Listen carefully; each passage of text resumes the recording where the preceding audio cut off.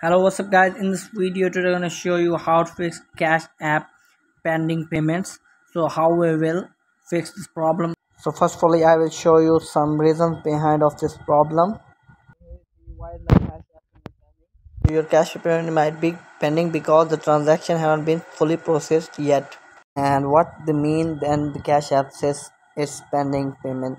So it means that your cash app transaction is stuck between or not accepted by the recipient and you have to check it and then thirdly and what is the reason behind of this that cash app says is pending? So there's a many of reasons. For example cash allow has a limit to send up to 250 dollars within any seven days period receiving and then you have to check the limit of your cash app payment. So now i will show you how we will fix this problem. So if you are facing that cash app was pending the payments so you have to watch this video till end so without wasting any time let's start the video. If you are saying that we are sorry this payment is on hold you want to receive the money and it's asking for payment pending so so we have to enter into the cash app. And then here you see our clock icon so we have to tap on it.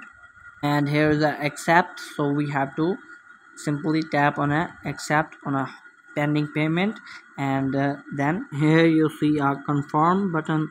So you have to tap on a confirm and then your pending payment is received in a cash app. So if my video is helpful please like share and make sure you have subscribed my channel. Thanks for watching my video